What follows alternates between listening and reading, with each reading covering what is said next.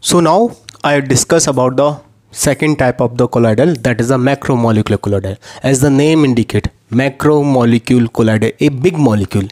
A single molecule is sufficient to have the dimension in the colloidal range. For example the molecules of the cellulose molecule of the starch molecules of the protein they have the sufficient high dimension and this dimension lie from the 1, 1 nanometer to 1000 nanometer. So a single molecule is sufficient to give the colloidal system. Let's see size of a single molecule present in the colloidal range for example starch and proteins in the water. Then we have the associated colloid okay like soaps and detergent comes under this category.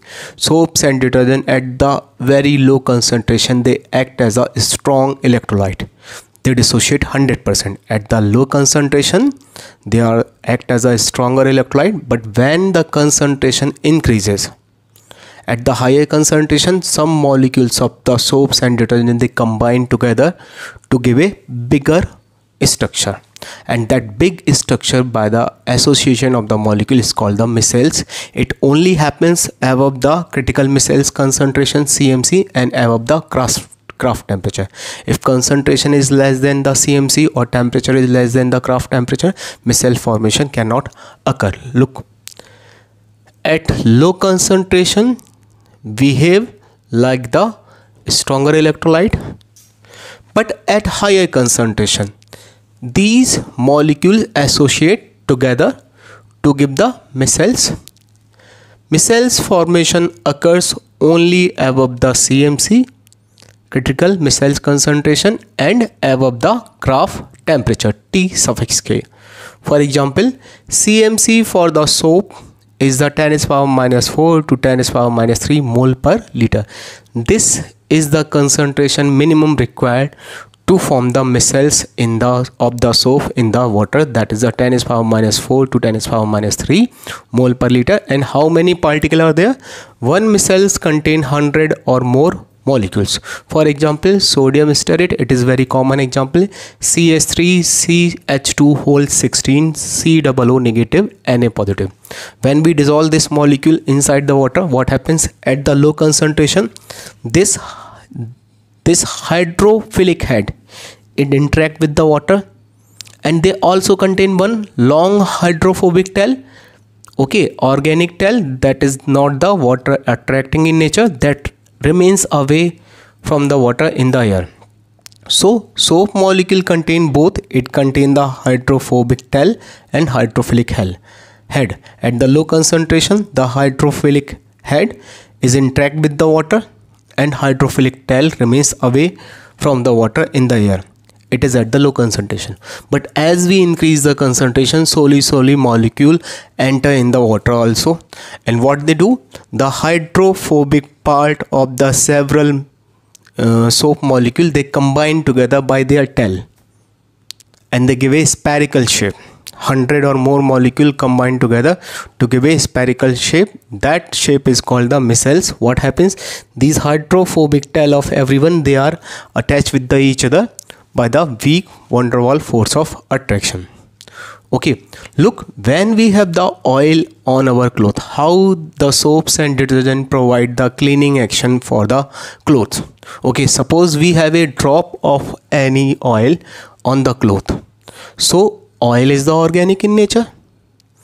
It is the hydrocarbon and one hydrocarbon can interact with the another hydrocarbon very easily. So when we wash the cloth with the soaps what they do? Hydrophobic tail of the soaps or detergent they interact with the oil molecule. They interact with the oil molecule and form such kind of a structure. When we wash the cloth with such kind of action what they do? They remove from the cloth and as they remove from the cloth to minimize the surface tension they occupy a spherical shape and now oil drop is present between the shape. It is this oil drop is now not free to again attach on the surface of the clothes and finally is washed out with the water. Then we have the preparation of the colloid okay in this one first method is the chemical method. Obviously we have the chemical reaction here.